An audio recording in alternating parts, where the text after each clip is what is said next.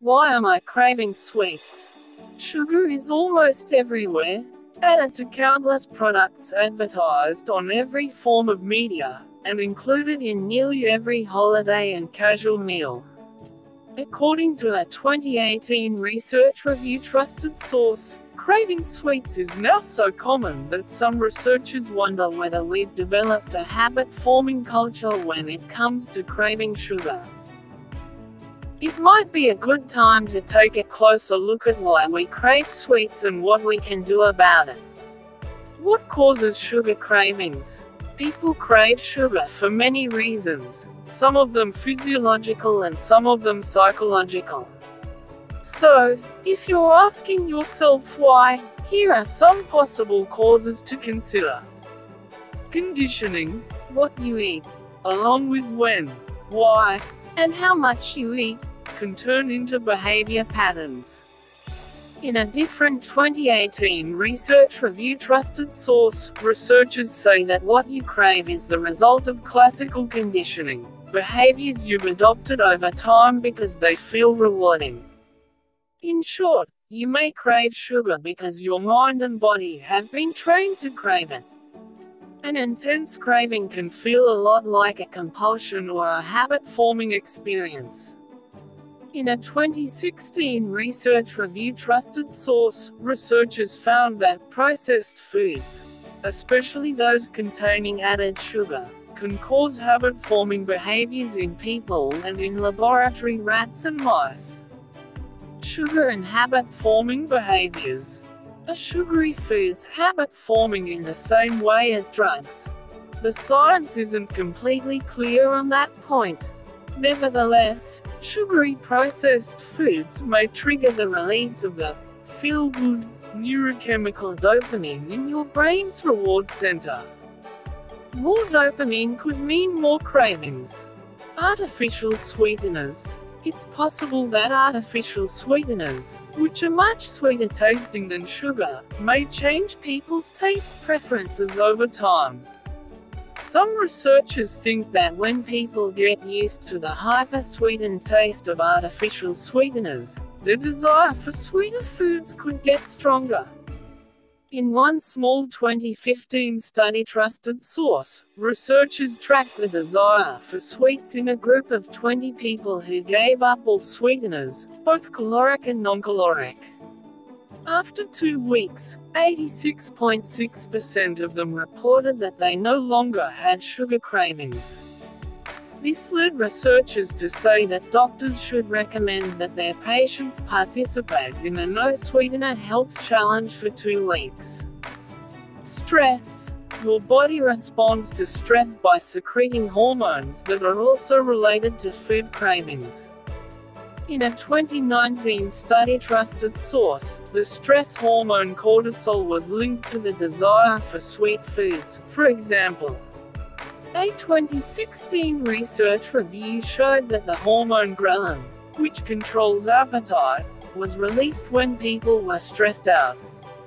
And if you're exposed to stress over a long period, a 2015 study trusted source showed that you'll be vulnerable to increased cravings for palatable foods containing added sugars and fats. Sleep. The relationship between what you eat and how you sleep is complex. A 2013 study trusted source showed that people who don't get enough sleep tend to crave foods that are sweet, salty, starchy. This may be because they'd like to boost their energy levels. A 2017 research review trusted source showed that sugary foods can interfere with the quality of your sleep. Period cravings in the United States, there's a really common belief that chocolate cravings and periods are linked. According to a 2013 research review trusted source, some researchers think that people crave chocolate due to the release of endorphins, which are brain chemicals that make you feel good and regulate your mood. A 2017 study trusted source showed that while the idea of craving chocolate during your period is well known in the United States, it isn't nearly as common in other countries. The difference leads some researchers to think that this particular sugar craving may be based in culture, not biology. Can you rewire your cravings? The short answer is yes. Research shows that even when cravings are intense, resisting them can eventually lead to fewer cravings overall.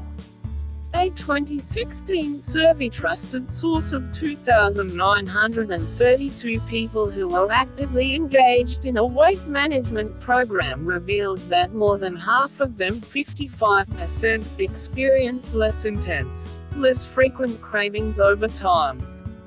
An older 2005 study found that restricting your eating too much actually led to more cravings, not less.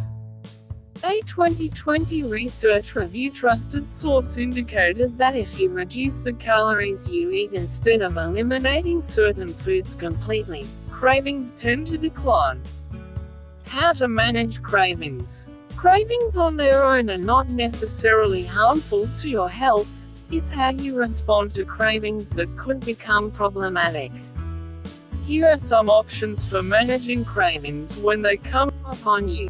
Give in. Eating the odd square of chocolate or piece of cake on your birthday is probably not going to damage your health. And it can be good for your mental health to savor something luscious now and then. According to the National Institute of Diabetes and Digestive and Kidney Diseases, health experts say that the occasional sweet indulgence is fine, just not every day. Glance at the label. Sometimes a reality check can curb your craving. If you're craving something that has a packaging label, look closely at the nutritional content so you can make an informed choice about what to eat. Take a quick walk. A 2015 study trusted source showed that a brief 15 minute walk could cut the cravings. As a bonus, the walk could pep you up more than a cookie or brownie anyway. Opt for a nap instead. If you're one of the millions of folks who are chronically sleep deprived in this age of overstimulation, a power nap may do more to revive your energy levels than something sugary. Swap it out. If you want a hint of sweetness without the glycemic overload, you could choose healthier alternatives like fresh fruit, trail mix, dark chocolate, and if you're feeling hungry, a meal that features protein may be what you need instead. When to talk with a pro. If sugar cravings are driving your daily stress levels up too high, or if you are concerned you may be eating too much sugar, it might be a good opportunity to talk with a healthcare provider, therapist, nutritionist, they can give you some personalized guidance on managing your cravings. The bottom line sugar cravings on their own are probably not an indication of a health concern. In fact, they're one of the most common cravings people experience.